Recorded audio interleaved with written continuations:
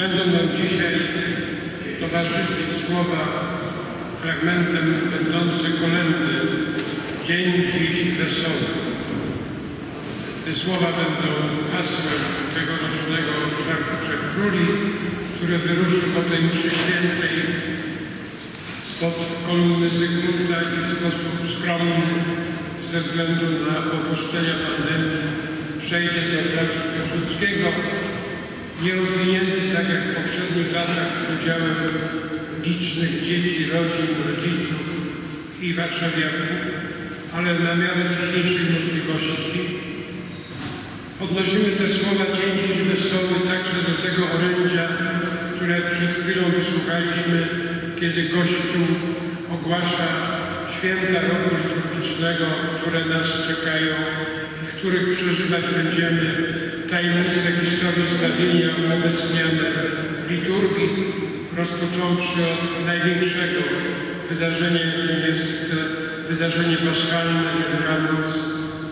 Te słowa odnosimy oczywiście także do świąt, które przeżywaliśmy niedawno, świąt Bożego Narodzenia i wydarzenia betlejemskiego.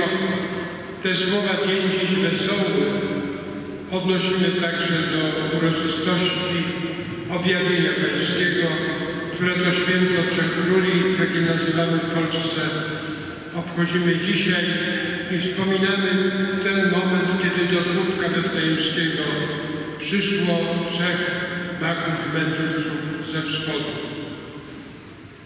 To jest powód tej naszej radości i tego dnia wesołego, ponieważ jako chrześcijanie chcemy być w tych wszystkich sprawach, które przeżywamy, weseli tą radością, która pochodzi od Pana Boga, z tego faktu, że Bóg stał się człowiekiem, bo nas bardzo umiłował, narodził się w betlejemskiej stajni i objawił się światu pogańskiemu Betlejem, a symbolem tego jest przyjście pasterzy i mędrców.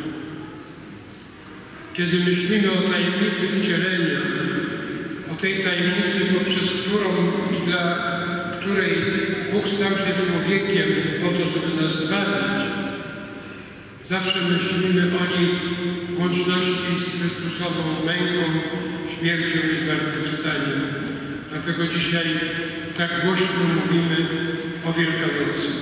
Dlatego, że wcielenie miało sens właśnie w tej wielkiej miłości, która polegała na tym, że Bóg w Jezusie Chrystusie ogołocił samego siebie, stawszy się posłusznym aż do śmierci i to śmierci krzyżowej. Wiemy, że tak naprawdę wcielenie Chrystusa wspominamy w dzień zwiastowania. Wtedy, kiedy pod sercem Maryi zaczął dokonało się wcielenie. Betlejem Boże Narodzenie jest pierwszym momentem, kiedy Kościół czci i stawia akcent na objawieniu się Pana Jezusa Narodzonego pasterzom poganom, którzy mieli Go zanieść wiadomość o tym, co się wydarzyło w Betlejem, tam, gdzie żyli, pracowali, tam, gdzie mieszkali. W przypadku mędrców ze wschodu było to bardzo daleko. Można by się zapytać, kto miał łatwiejszą sytuację, czy ci pasterze i mędrcy posłani przez Pana Boga do narodów pogańskich? Było ich niewielu, a tych, którzy byli wokół jako poganie wcześniej, było bardzo wielu. Ale tamtejsi poganie zawsze byli wierzącymi, choć nie znającymi Mesjasza, nie znającymi Jezusa. A więc w tym względzie mieli na, na pewno łatwiej. Natomiast my dzisiaj stajemy w te święta narodzenia i ofiarowania, dzisiejsze święto, żeby współczesnemu światu objawić prawdę. Prawdę o tym, co się wydarzyło w stajni betlejemskiej i co się objawiło światu.